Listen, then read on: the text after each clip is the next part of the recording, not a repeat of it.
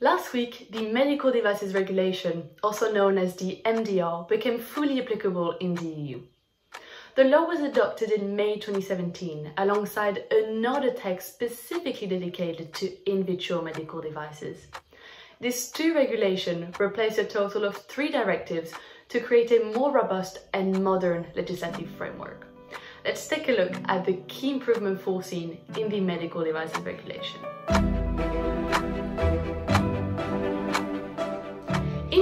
European Union, the medical devices sector covers more than 500,000 types of medical devices. This represents a total market value of 120 billion euros. It is one of the most competitive and innovative sectors. In 2019 alone, more than 14,000 patents were filed for medical devices, which is twice as much as those for medicines. As such, it is essential to regulate this sector, which is what European institutions have strived to do by introducing stricter rules. The MDR has three main goals. Ensure better patient safety, allow for more transparency, and adapt to new technologies and scientific progress.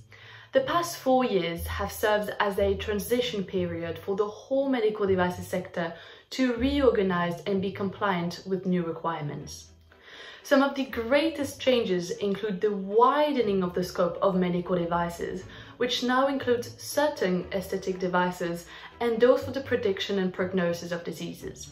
Risk classes have been updated and internet sales of medical devices are now covered. At the same time, transparency and traceability have been improved through the unique device identification system and so much more.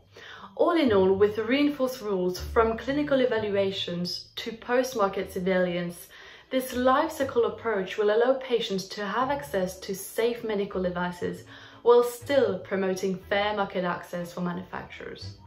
The impact of the regulation will be measured in May 2027 when the Commission will produce an evaluation report on the progress made so far. We're seeing European institutions working incredibly hard to build a European health union, and through texts like the Medical Devices Regulation, there is no doubt that such ideal is becoming a reality.